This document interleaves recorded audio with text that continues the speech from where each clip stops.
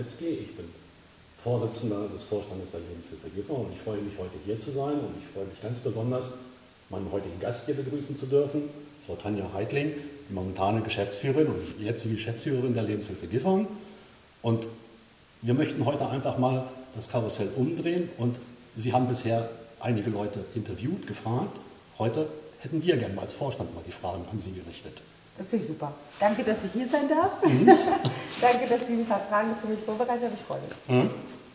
Sagen wir es so, das Jahr 2021, wenn wir jetzt auf den Kalender gucken, ist fast zu Ende. Mhm. Es ist ein kompliziertes Jahr und jetzt hätte ich einfach von Ihnen mal gewusst, wie haben Sie das ganze Jahr gesehen? Wie, wie ist das auf Sie niedergeprasselt? Was passiert ist? Einfach mal mit ein paar einfachen Worten und ich würde mich freuen, wenn es in einer leichten Sprache ist, weil ich bin ein Verfechter der leichten Sprache, dass auch alle Teilnehmer der Lebenshilfe alles Mögliche mitbekommen. Ja, danke für die Frage. Ja, 2021 war ähm, ein schweres Jahr für uns alle, für die Leistungsberechtigten, für die Beschäftigten in der Werkstatt, für die Mitarbeitenden, ähm, für alle Beteiligten und auch äh, für Sie ähm, als Vorstand. Corona hat es uns so schwer gemacht, durch dieses Jahr zu kommen.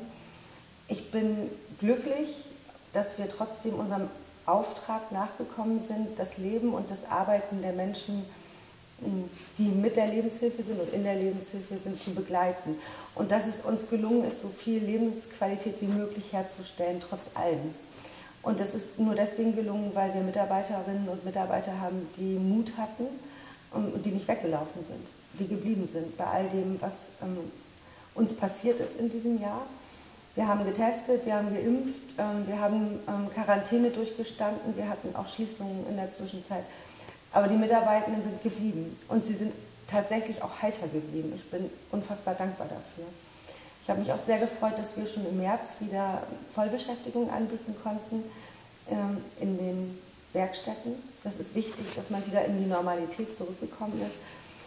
Ja, und so wird es erstmal bleiben. Corona wird uns weiter äh, verfolgen, aber wir haben auch andere Dinge getan. Wir haben uns von Corona nicht abhalten lassen zu gucken, was sind eigentlich unsere Themen, was ist wichtig. Wir haben zum Glück die ISO-Rezertifizierung wieder mit Bravour bestanden. Da bin ich sehr, sehr glücklich. Da haben die Mitarbeitenden und die Leitungen eine tolle Arbeit geleistet. Und wir haben viel über Neuausrichtung gesprochen und festgestellt, dass die Lebenshilfe schon 58 Jahre lang auf Neuausrichtungskurs ist, weil sie sich immer wieder verändert hat. Und dann war so die Frage, was hat sich wirklich für die Mitarbeitenden in diesem Jahr verändert? Nicht sehr viel. Wir haben viel vorbereitet, ähm, aber der Arbeitsalltag hat sich durch die Neuausrichtung neben Corona ähm, tatsächlich noch gar nicht richtig verändert. Ähm, aber das Leitungsteam hat sich verändert, das Leitungsteam ist zusammengerückt und ist mehr als bisher Unternehmer, sind es Unternehmerinnen im Unternehmen. Und wir haben Zielekonferenzen alle zwei Monate und alle Ziele werden ähm, dargestellt für alle Mitarbeitenden, sodass alle zu jeder Zeit wissen, was machen die Leitungen, was macht das Management, wo wollen wir eigentlich hin. Wenn ich jetzt mal kurz dazwischen fragen darf, wenn ich Sie jetzt richtig verstanden habe, ist es so gewesen, dass die Mitarbeitenden das komplette Jahr 2021 eigentlich vor Ort waren, nicht so wie in anderen Branchen, dass Kurzarbeit oder ähnliches eingeführt wurde. Die Mitarbeiter haben sich also bereit erklärt, wirklich das ganze Jahr Ihnen zur Seite zu stehen, dass das Haus Lebenshilfe weiterläuft? Absolut. Das ist ganz, ganz wunderbar. Also wir hatten tatsächlich keine Kurzarbeit. Wir hatten ähm, Betriebsschließungen. Ähm, die haben wir aber ohne Kurzarbeit überstanden. Und ähm, was ganz hervorragend war, dass die Mitarbeitenden in den anderen Bereichen ausgeholfen haben. Also die Bereiche, die geschlossen waren, haben dann im Fachbereich Assistenz für Erwachsene, das ist ja das Wohnen, äh, unterstützt. Und die ganze Lebenshilfe hat sich zusammengetan und da kann man wirklich sagen, die Lebenshilfe hat sich krisenstark auch gezeigt. Es gab keinen Personalabbau ähm, und die Gehälter waren gesichert, auch die ähm, Löhne der Beschäftigten waren äh, gesichert. Und was ganz hervorragend ist, und da sind wir extrem dankbar, dass wir weiter refinanziert wurden. Das heißt, die Kostenträger haben uns weiter dahin das Geld gegeben, auch wenn wir temporär ähm, nicht voll unsere Leistung erbringen konnten. Und von daher sind wir recht gut durch das Jahr gekommen. Oh, das freut uns als Vorstand natürlich wunderbar, dass, das, dass die Lebenshilfe Gifhorn finanziell auf festen Füßen steht, dass es sehr gut gelaufen ist. Äh, dafür mal der Dank an alle Mitarbeiter, wirklich an alle Mitarbeiter, der Dank an die Geschäftsführung, dass das so toll geklappt hat. Wir haben es ja nun, ich will mal sagen, nicht aus der Ferne, aber doch immer mitverfolgt, mhm. wie es läuft und sind mehr als zufrieden, dass das so gut gegangen ist, dass auch wirklich alle Mitarbeiter fleißig zur Stange gehalten haben. Mhm.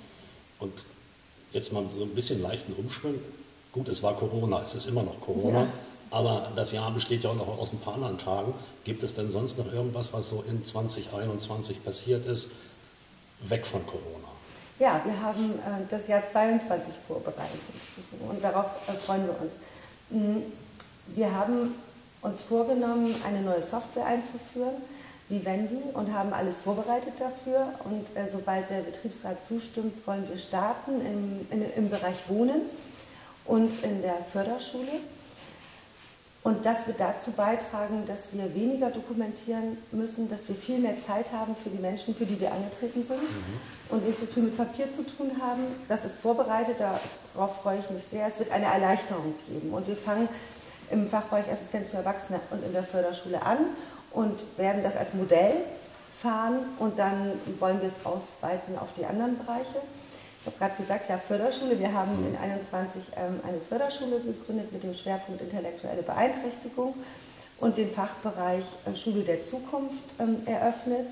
Und was wir auch gemacht haben, wir sitzen gerade hier, ähm, wir haben eine, einen neuen Standort, ähm, Lebenshilfe Live äh, in der Fußgängerzone das ist ein Ort der Begegnung, um in die Kommunikation zu treten, um mit den Menschen in Gifhorn zu sprechen, um über uns zu sprechen und um Unterstützer zu finden, die die Lebenshilfe gut finden, ähm, für uns sind und uns unterstützen, weil wir brauchen Unterstützung. Menschen mit Beeinträchtigung werden immer noch zu wenig gesehen. Und ähm, heute ist ja der, internationale Tag der Menschen mit Beeinträchtigung, deswegen ist die ganze Fußgängerzone lila. Ähm, ja, wir brauchen Unterstützung, deswegen haben wir diesen Standort ähm, eröffnet. Was mir auch wichtig ist für das Jahr 2022, wir brauchen Personal. Wir haben Personalnot und ähm, deswegen ist der Aufruf an alle Mitarbeitenden, machen Sie Werbung für uns. Ähm, fragen Sie Verwandte, Bekannte, Freunde. Wir bieten alles an. Wer Teil der Lebenshilfefamilie werden möchte, kann das tun. Wir bieten Ausbildung an, duales Studium, ähm, Ausbildung neben dem Beruf, ähm, Umschulung, Qualifizierung und was wir bieten, sind feste Arbeitsplätze. Es hat in der ganzen Geschichte der Lebenshilfe noch nie Personalabbau gegeben. Wir ähm, sind ein attraktiver und vor allem ein sicherer Arbeitgeber. Und ähm, deswegen möchten wir Menschen finden, die sich äh, für uns entscheiden. Und gleichzeitig ist es notwendig, dass wir uns intern auch weiter qualifizieren. Und wir haben dieses Jahr öfter aufgerufen, liebe Mitarbeitenden, wenn ihr euch qualifizieren wollt, sagt Bescheid. Sagt euren Leitungen Bescheid. Wir werden alles möglich machen, damit ihr euch weiter qualifizieren könnt. Und ähm, was mir ganz, ganz wichtig ist, es gab häufig die Frage, sind, ist mein Arbeitsplatz sicher? Corona hat auch so ein bisschen so ein Gefühl ja. gemacht und ähm, was ist mit meinem Arbeitsplatz, werde ich, jetzt kommt eine Software, werde ich wegrationalisiert, braucht man mich jetzt nicht mehr. Nein, ganz im Gegenteil, die äh, Lebenshilfe ist immer gewachsen und äh, unser Versprechen ist, jeder, der bei uns bleiben möchte, kann so lange bleiben, wie er es möchte. Und das hat die Lebenshilfe gezeigt, wer einmal Teil der Lebenshilfefamilie ist, bleibt es auch. Und deswegen alle Arbeitsplätze sind sicher und wir brauchen noch mehr Mitarbeitende ähm, als bisher. Und was auch wichtig ist, Sie hatten das eben angesprochen, die Lebenshilfe hat solide gewirtschaftet, in der Krise, aber auch vorher schon. Und das heißt, ähm, die Gehälter sind sicher, das Geld für die Beschäftigten ist sicher, jeder wird sein Auskommen haben ähm, und kann sich in der Lebenshilfe ähm, weiterentwickeln. Das sind ganz tolle Worte, wo ich mich auch wahnsinnig überfreue. Und wenn ich sehe, mit welchem Enthusiasmus, mit welcher Begeisterung, mit welchem Herzblut Sie hier die Lebenshilfe präsentieren, dann freue ich mich, dass Sie da sind. Freue mich, dass Sie so offen für die Mitarbeiter da sind, äh, in der Hoffnung, dass das dann alles so bleibt. Und jetzt sei mal so, so persönlicher Natur. Ich habe jetzt viel gelesen über Neuausrichtung, viel gehört über Neuausrichtung. Sie hatten eben schon gesagt, man macht ja viel digital, dass man sich nicht so oft personell trifft, in Form wie, wie jetzt eben gerade face-to-face. Was muss ich mir oder was muss sich die Allgemeinheit unter Neuausrichtung der Lebenshilfe vorstellen? Was passiert? Wir suchen die Themen, die die Gesellschaft interessiert. Und ähm, Sie wissen, ich lebe für das Thema Selbstbestimmung ähm, das ist auch das Thema des BTHG. Und wir möchten, dass die Menschen das von uns bekommen, was sie brauchen. Nicht, was sie anbieten, sondern wünschen und wählen.